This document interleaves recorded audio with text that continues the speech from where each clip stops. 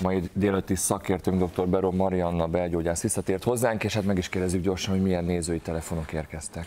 Sokfajta volt, nagyon sokfajta, gyermekgyógyászattól kezdve Akkor, minden akkor ugye nem csak a vérszegénységről beszéltünk. Ö, nem csak a vérszegénységről, tehát a kérdések sem feltétlenül csak arra vonatkoztak. Emeljünk ki néhányat, amiből Ö, tanulhatnánk. Jó, tehát például az, a a női, női, női kérdések voltak dominánsan, és érdekes volt olyan, aki menopauza utáni, tehát definitíve 70 év fölötti korosztály volt, ugye ismeretlen eredetű, már kivizsgált, de viszont olyan krónikus alapbetegséggel küzdködő hölgy telefonált, ugye itt egy inzulinos cukorbetegség volt a háttérben, ahol bizony azért sok minden olyan tényező, ugye fertőzéseknek, gyulladásos betegségnek jobban ki vannak téve ezek a betegek, és önmagában egy elhúzódó gyulladásos betegség is tud bizony vashiányt okozni, és ez egy nagyon fontos dolog. És nagyon érdekes, hogy amikor sikeresen egy ilyen gyulladásos állapotot rendezünk, akár antibiotikummal, ezt követően nagyon sokszor mindenféle vaspótlás nélkül rendeződik a vasszint, ez nagyon fontos dolog, tehát nem mindig kell nekiállni vasat pótolni. Egyébként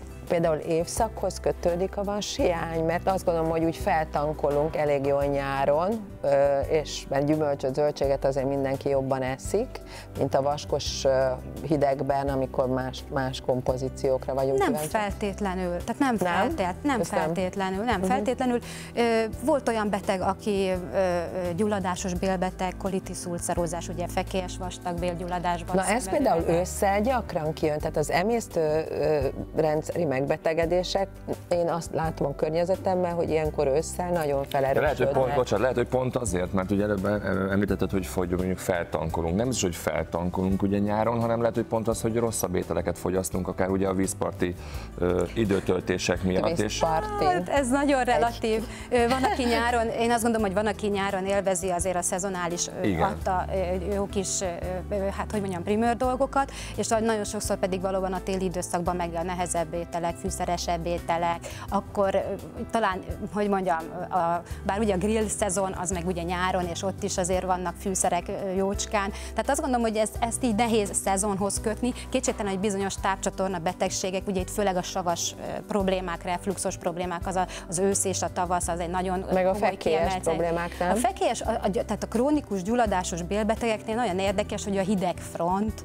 azt tudja elindítani a, a, a betegséget, de azért tudni kell, hogy itt egy csomó az immunrendszer állapota, az, hogy ő éppen milyen lelki állapotban van, az, hogy van-e valami megterhelés, akár fizikailag, akár például az érettségi időszakban ezek a, ezek a fiatalok szinte mind, mind aktivizálódnak. Most, hogyha gyulladásos bélbetegségről beszélünk, akkor mind, mind jönnek sajnos a tünetek, és azért ilyenkor, ilyenkor a, de akkor az, abban az időben meg is változik úgymond a táplálkozási szokásuk, én, én úgy tudom, tehát vizsgai ha- időszakban. Ugye akkor rengeteg energiaital, rengeteg kávé, inkább biztos, ugye, hogy inkább ugye csokoládékat fogyasztanak, nem esznek konkrét. azért egy, aki, Vagy aki nem esznek, vagy sokat esznek. Aki Igen. ismeri a betegségét azért, és már volt komoly aktivitása, azért azok Odafigyel. figyelnek, és azért ők tudják, hogy nekik mi az, ami belefér.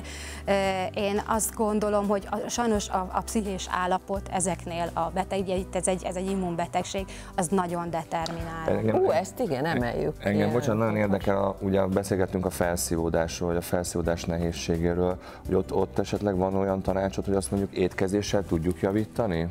Hát ugye ezt kell először tisztázni, hogy rendben van-e a felszívódás. Ha nincs rendben a felszívódás, akkor hiába tudunk az étkezésen segíteni, mert pont az a probléma, hogy a normálisan bevitt táplálékkal... De miért például kefirrel nem tudjuk, nem tudjuk a bélflórát Nem, a bélflórának ehhez nincs, tehát a felszívódás az a bélboholy struktúrán múlik. És tehát a kefir az nem stimulálja? Nem, nem, tehát hogyha a bélboholy, tehát ugye konkrétan beteg, tehát itt, itt sajnos nem a, a flóra számít, uh-huh. hanem hogy definitíve van-e eltérés a bélboholy struktúrába, és az általában a legklasszikusabb ugye a lisztérzékenység, de sajnos a gyulladásos betegség közül a krónbetegség, most erről még nem esett szó. Ó, azok Ugye- már nagyon durva Na, Hát a krónbetegségről annyit kell tudni, hogy a tápcsatorna bájmergyészőn jelentkezik, míg a kolitis ulceróza csak a vastagbélben, és a vastagbél nem felszívódó szerv. Tehát azért ezt rögzítsük. Figyelünk egyébként mi átlag emberek erre, hogy egészségesen táplálkozzunk pont emiatt? Hát én azt gondolom, hogy van, aki figyel, van, aki nem. Mi magyarok feltétlenül nem erről vagyunk híresek így át, át átlagos képben, de azt gondolom, hogy van egyre több